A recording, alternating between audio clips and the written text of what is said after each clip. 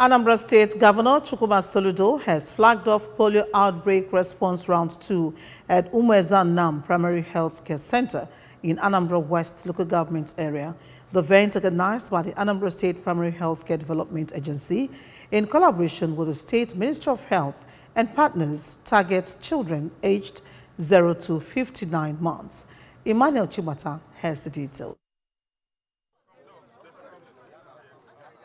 Represented by Deputy Governor Dr. Onyekachukwu Ibezim, Governor Soludo highlighted the state's healthcare advancement in infrastructure, equipment, and staff, emphasizing his commitment to the health needs of Indianambra. Governor Soludo underscored the importance of statewide presence of robust healthcare facilities, equipped wards, and the adoption of telemedicine. He acknowledged the support of partners like the World Health Organization, WHO, and urged communities to raise awareness for widespread vaccination. Gọvanọ anyị ejiri ife dị n'arụ ike were egwuli egwu.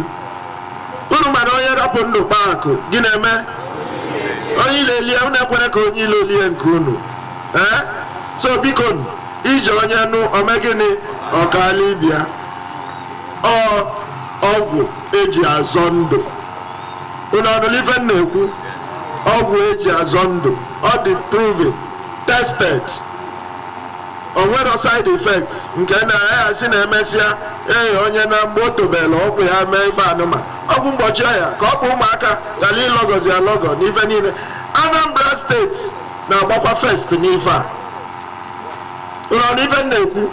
On his part, the State Commissioner for Health, Dr. Afam Obidike, re-echoed the administration's focus on revamping the healthcare system, calling for community sensitization to maximize the benefits of immunization. He expressed concern about low birth registration in Anambra West and reviewed the state government's goal of reaching 2.3 million individuals in this second round of the outbreak response. work for immunization of our children on polio and also ka e use this opportunity to immunize every other children in every other routine immunization and also our birth registration even in ebe a most of them enwere birth registration the governor is insisting we must know if you cannot measure it you cannot change it The Executive Secretary of Anambra State Primary Healthcare Development Agency, pharmacist Shisom Ushem, was present at the ceremony. From Anam, Emmanuel Shibata for ABS News.